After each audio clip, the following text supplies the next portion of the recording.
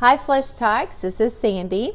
Now, then, I am a hands on kind of person. Um, being a kinesthetic person, I like to learn by seeing, hearing, feeling, doing, and then I like to teach you. So, part of what I find magical about Flushtox is that you become your coach as well. You grab some of your friends, your family, and you start teaching them as well. All right, so what, what happens in your gut? Why does it matter the order of your eating? I have lots of people ask, what does it really matter? It's not a big deal. And, um, you know, what's the difference? Uh, I eat healthy. What does the difference of the order make? So I'm going to give an example, first of all, of portion size and give it in relation to your digestive order. So the first thing that your body is going to be able to digest most quickly is a carbohydrate. So it's best if it's in a carbohydrate form that's um, plant based.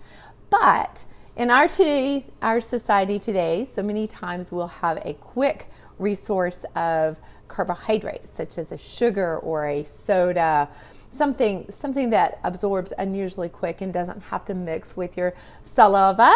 I said it sort of quite uh, properly, and it doesn't require a lot of times to process. So the quicker your body can process your your sugars, the smaller the amount that you need. Actually, you don't need very much sugar at all. You just need enough to keep your blood sugar stable. It's a whole nother discussion.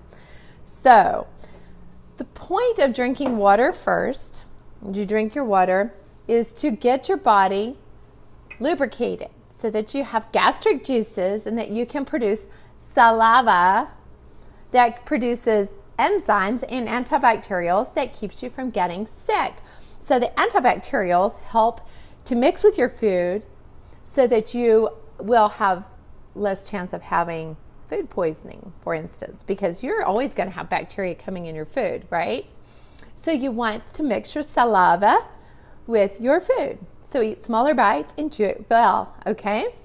Now then, you're also going to secrete an enzyme called amylase. Now, amylase is produced by the pancreas and it's excreted by the by the saliva glands. When you do not have good pancreatic digestive enzymes excreted because maybe you have used so many digestive enzymes over the years, digesting so many carbohydrates, that perhaps you need some help. So that's where the plant enzymes come in handy prior to, the, to eating. Now, the plant enzymes help to aid your pancreas so that it takes some burden off your pancreas so it can rest an overused pancreas will uh, produce less enzymes and it can is more prone to virus and bacteria and worms, uh, parasites, indeed, and it can create pancreatitis. And pancreatitis is actually very deadly. If you get pancreat- pancreatic cancer, it's one of the few cancers that they cannot treat. So if you start treating your pancreas a little bit kinder and eating your foods in easier portions to digest, perhaps you will enjoy a little bit more fun with your life with your pancreas. So, what does it matter on your eating portions and order? So, we're going to go over the carbohydrate first. So, I have a wheat bran, all right? It's a no, it's a Surefine, it's not a big bran. And it says that three fourths of a cup is a serving. So, I'm going to take it to half a cup, even though I prefer to eat a fourth of a cup. Um, so, it says that one three fourths cup, 17, let's see, three grams of protein. So if you eat a third of the cup, it's about one gram of protein. And it's 23 grams of carbohydrates. So it's about, it's going to be roughly about 9 to 13 grams of carbohydrates. So here you go. You've got your bran, okay? Sorry, I was. Now then, I want you to measure. Now you can't hardly see, and since I have a difficult time in my kitchen because I don't have the same kitchen as I used to have. I'm going to measure right here, okay? so, one bite, two bites, three bites, four bites, five bites, six bites, seven bites. Well, yeah, actually, about eight bites. So this is a half of cup. It's a three quarters of a one serving.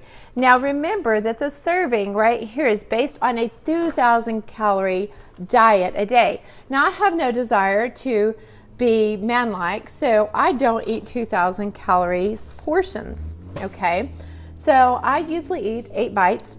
So I would measure by a baby's teaspoon. I really do. I really do. Ask my family. I do this. All right, so one,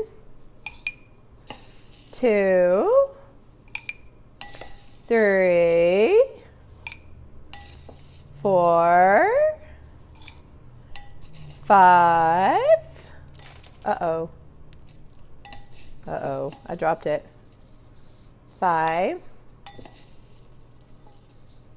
six, uh-oh, seven. My earphones get in the way. Eight. All right. So that leaves about that much of a cup. So minus the this bite that I spilled, that's about right. So how cool is that? Eight bites with a baby spoon. Bam. Okay. And it's just two bites shy of a teaspoon. So every bite counts. Now then, I'm going to say we are going to use, I'm going to measure it this way. All right, so we're going to take the same amount of liquid. you need a little bit more liquid than you've got me. So I'm going to go just a little bit shy. So it's about a fourth cup, half a cup of this. All right. So I'm going to show you what this happens. This is um, the water in this would be your milk or your almond milk or whatever you do to make your cereal. All right, so got it? Now this in your stomach. You've got see-through glass stomach, all right? So do you see whenever you start chewing your food, pretend like my big old long fingers are food, uh, food tours called teeth. All right, so you do this and you wait about 15 minutes. So you're going to chew your food really well.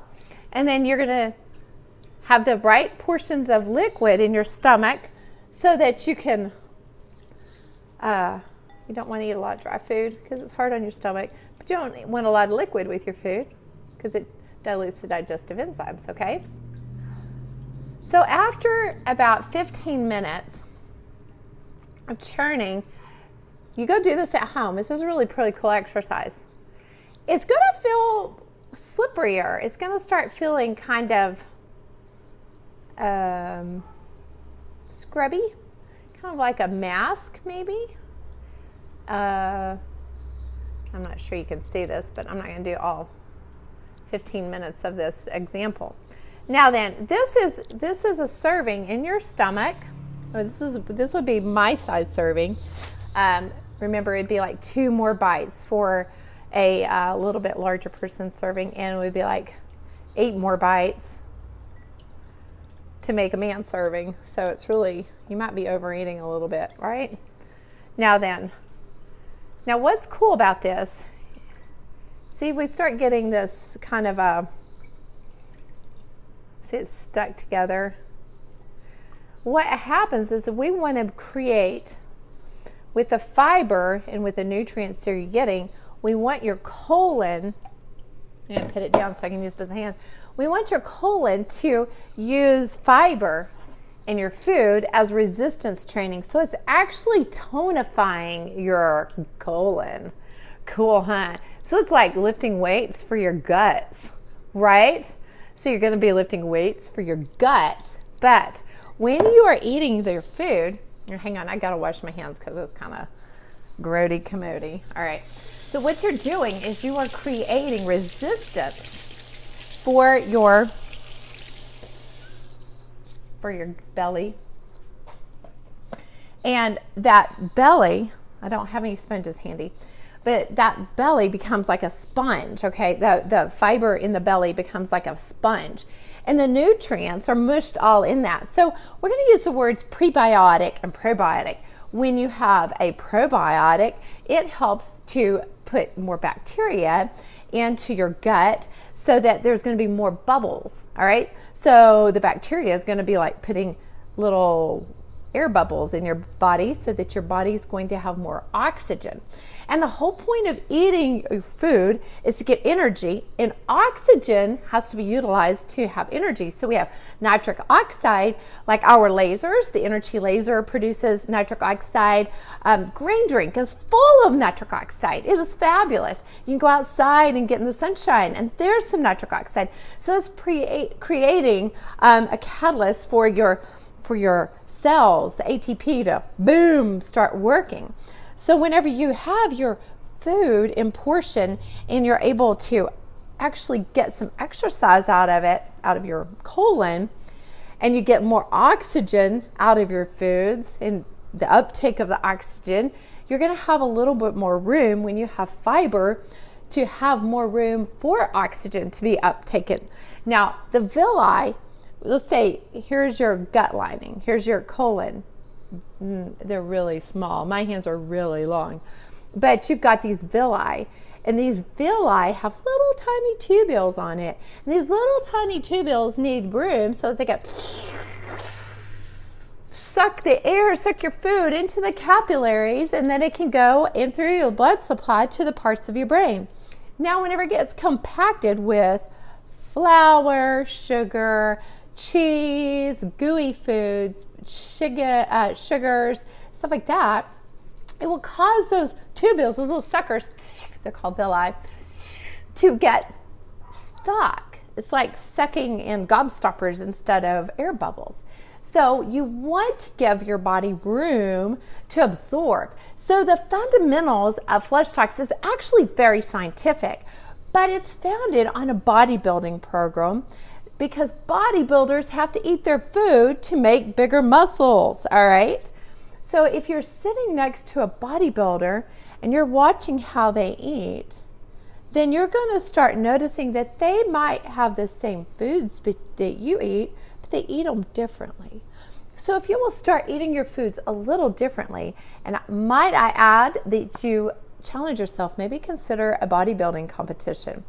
Maybe not so much that you go put on a little bitty tiny uh, bikini and go show everybody, you know, your muscles, but do it so that you can learn how to build muscles and you can learn and hang around with the best because it says, uh, science says that you become a was a sum total or an average of the five people you spend the most time around. So if you spend your time around sick people, most likely you're going to learn sick habits. If you spend your time around successful people that have good lifestyle habits, then you're going to learn how to be healthy and have good lifestyle habits. And I don't know about you, but our goal on this earth is to be legacy builders so that our children's children will be healthy. And if they don't learn lifestyle from you, then who are they going to learn it from? All right. So just think in type of portions. Friday begins um, our what is it? Our uh, first of the month new month, new ro- goals, new rules, and not new rules. But I would like for you to consider um, committing another 30 days to Flushtox, but this time I want your goals. And if you're not going to participate, I would also like to probably create a group or trim this group back down to the group that wants to participate most so that you get the most out of you out of this experience. All right, so go measure your cereal. Go try this out. It's pretty cool. And um, you'll also find that whenever you start doing your food like this, I mean, you don't play with it at the dinner table, but this actually is moisturizing. This um, brand is actually very moisturizing. So if you're on a wheat only, uh, avoid wheat diet, I'm not sure that I would choose wheat bran. but I'm a type A blood and I don't eat oats very well. Unless it has peanut butter and honey. Yeah. All right. Okay, guys. Well, comment below. I do expect more participation because we're ramping it up. We're getting into the cold and flu season. And I don't know about you, but I'm going to be healthy, wealthy, and wise. And I'm taking you with us. Bye, guys.